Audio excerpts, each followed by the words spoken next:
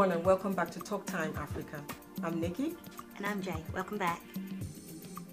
It was a fun weekend for us this past couple of days, and two of the personalities that we spent the weekend with are here with us in the studio this evening, and we wanted to share that experience with you. Jay, what do you have? But also, part of that weekend we spent with a Pinkay magazine. A Pinkay is an Atlanta based magazine. Editor in chief is Veronica Oladije, and they're celebrating their uh, one year anniversary. Right. And we, we do congratulate them. But going through the magazine, I always like to pick up things that I've heard or said or read mm-hmm. during the week. And the one thing I picked up was an African proverb that said that what a an old man knows or sees when he's sitting down, mm-hmm. a child would not know, even if he climbed the highest mountain. Wow. I think that's wisdom for you. It is wisdom. He would never that. know it, not in a million years. Not in a million years.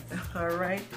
So as I was saying uh, earlier, that one of the personalities that we spent the weekend with in Atlanta here is the Queen of Nollywood, and she is the first Nollywood actor and recording artist from Africa to walk the red carpet at the 53rd Grammys.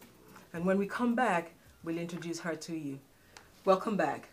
So as I was saying, the Queen of Nollywood is here, none other than Omotola Jalade Ekeinde. Welcome to Talk Time Africa. Thank you. But she's also called Omosexy. All right. I'm shy. Where did that come from? Actually, it came from my hubby. Oh, really? yeah. Okay. That's that's his pet name for me. Okay. So for those that don't know what almost sexy means? It means like, homosexual. it means sexy lady. Okay. no right? definitions, please. you look absolutely wonderful. Thank today. you. Wonderful. Thank you so much for joining us. Yeah, when they told me I was going to be with you two, I was like, I need to step up my game. Oh, my oh, goodness. girls are gorgeous. Thank you so much. That's sweet. She's being sweet right now. Thank you. Thank yeah. you. So we had fun uh, all weekend uh, in Atlanta with Omotola. And tell us about your experience so far in Atlanta. Oh, it's been great. great. It's been great. I mean, um, I've never really been here. Yeah. I kind of always, you know, I pass just through. pass through. Yeah. Exactly. You know, okay. so when my manager, um, when I started working with uh, Bishop mm-hmm. Entertainment and he was from Atlanta, I was like, okay. Good opportunity. Now, right? now I'll have to stay at some point. Right. So have so, we taken care of you in Atlanta? Uh, we it's have. been great. So I guess even if I have to say it myself, yeah. it's been you. extremely wonderful. Everybody here is so warm good. and so friendly, but most importantly, very encouraging. Good. Yeah. So it's safe to say that you will be back. Well, spend absolutely. more time with us. Absolutely. We're I wouldn't even that. have a choice if I wanted not to. okay. You know, but I mean, it's, I, I, I want to. It's like home for me now. Good. That's it's good. like home, yeah. So you're here to do some philanthropic work? Oh, absolutely everything. Really, I'm here to promote mostly my album. Um, just came out last um, the last quarter of last year. Mm-hmm. You know, What is it called? 2010. Me, myself, and eyes. Right. it's actually titled Omotola, right? No, me, myself, Me, myself, and, and I. eyes, Oh wow! All of Omosexy. Mm.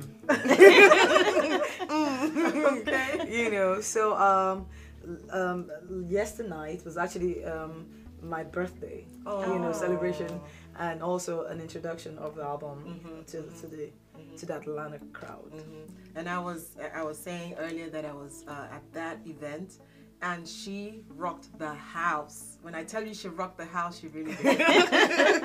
it, it was nice. It was. Yeah. So, um, how long have you been working on that project? um, two years actually. Okay. Two years. Wow. Um, so yeah, I've been working on it actually since 2008, Mhm. February. Does it have a theme? What kind of music is it? It's pop. Okay. It's mostly pop, um, with um, a lot of undertone rock. okay. Yeah, behind it. I actually probably will end up in, in, in the rock genre. In the rock world. Yeah, but you know, because I'm from Africa, you know, Mhm. it's, it, it would be like shock therapy if I just went straight into rock. I know. So yeah, I'm taking it easy. and Okay, just, you starting know, off. introducing Mhm. it gently and trying to find myself too Okay. in my voice Okay. in in in So music. kind of like evolving yeah, through the music. yeah, exactly. Sounds Till I get to where I'm, I'm Right, right, right. I know we're talking about music. A lot of people watching the show would recognize you from acting. Yeah. Uh, so you are an actor, Yes. um, but you do sing. So we do want people to know out there that your first passion, is it safe to say your first passion, is singing, or does it come hand in hand? Passion. I have a problem with that word. Passion. I'll say my first um, career, Your first career. mm, my first endeavor is is acting because both of them are my passions. And it's, my first passion actually was music. And that's the truth. I just didn't start it Okay. before acting. Acting. Okay. So So it's okay for you to you do recognize her from The a lot of her movies, movies, but she actually is a singer. yeah. So that's good to know. that's good to know. That comes in handy when you have two different careers. Yeah. It comes in handy as far as the money. Okay. and I want to say yes if I got to know what you were, what you're going to say next. awesome, awesome. So um, I know we put the music first, we put the acting first. I wanted to talk about your family, where you grew up, and your family life. Um, I grew up in Lagos. I was born in Lagos, and I grew up with um, my my dad, my mom, uh, quite a small family. If you want to talk talk about in text of you know the African Right, um, right. kind of you know family uh, tree or anything. So I, I have two younger brothers. Okay. So we're just three kids. Yeah, yeah, that is small as far as I'm concerned, yes. And I know they passed away kind of early in your life. How was that experience for you? Must have been traumatic. Yeah, it was very traumatic. I mean, I was absolutely close to my dad, you know. So when I was uh, told I would have to go to Lagos, I mean, you can imagine everybody, myself and the students knew something was wrong because it was almost time for our exams, Right, right. my GSS exams, and there was no way you would be called to, you know, leave that if it wasn't something serious. Yeah.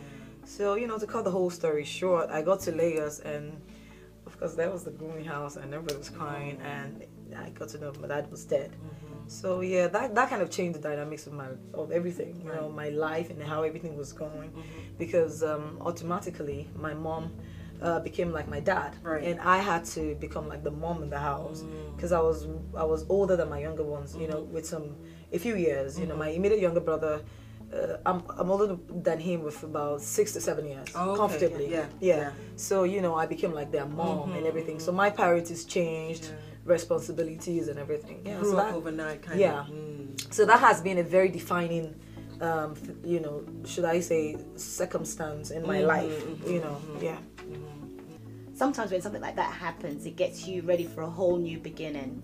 i know for so many other things that would happen in the future Exactly. So would you say that prepared you for where you are today? Oh, absolutely. I mean, like I said, that was that was what changed everything. Because I mean, I couldn't do so many other things that my people my age were doing, not because my mom was stopping me from doing them, but because I just didn't even have the time. Yeah. I had two kids to take care of, Right. you know, practically, you know. So yeah, and it I would say it, it probably was the reason why I could I could get married early in life because I was already very mature anyway. Yeah. I mean, at age 14, 15, you would think I was what 19, 20. You, you know. Grew up quickly. Is it also safe to say that it got you ready for your philanthropic work with children?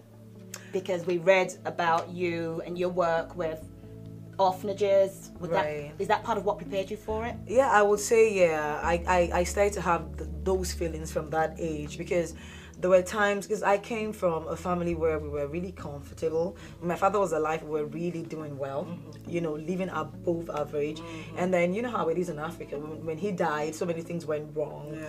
and we practically went to a point where we had almost nothing mm. except the house we're living in. You know, so I, I knew what it, it felt like to not know where your next meal was going to come from. And yet you have two little ones to, to really uh, take care of. You know, they had to go to school, they had to eat, and all of that stuff. So I, I knew what it felt like not to have.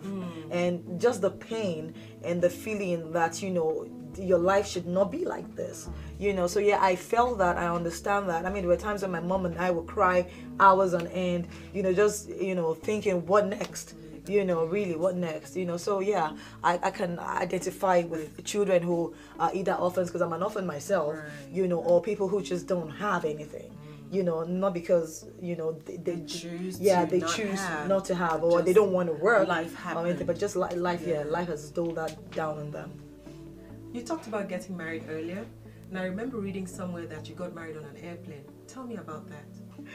Yeah, I did. well, when we wanted to get married, uh, we're thinking, you know, just juggling ideas. And like very crazy husband.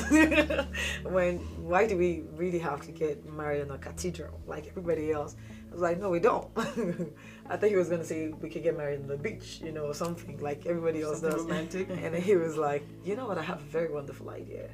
And so he went, and I think he went and asked, because nobody has done it ever, at least not in Africa. So he wanted to even go find out if it was possible before he would, you know, break the news to me. So he went and asked his bosses if it was possible, and they told him no. But I mean, it's not uh, like, you know, something, you know, they couldn't think about, but they just didn't think, you know, um, the government or anybody would give them, you know, the pass to do it. So he came back and he told me, he said, oh, you know, I wish we could have been able to do this, but I'm waiting on these guys to get back to me. They think, you know, it would be too much of a problem getting, you know, the pass and everything to do it. I was like, wow, that's great and everything.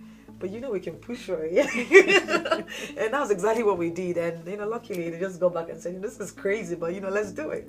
And that was what happened. And we, we worked out the insurance and everything for everybody he was going to come on board and vow. We were getting married in the air. So was that plane actually flying? It was. It was. Yeah. So how was that experience?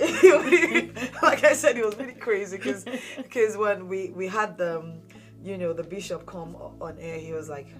I know I want to be close to God, but not literally. You know, what are you guys doing?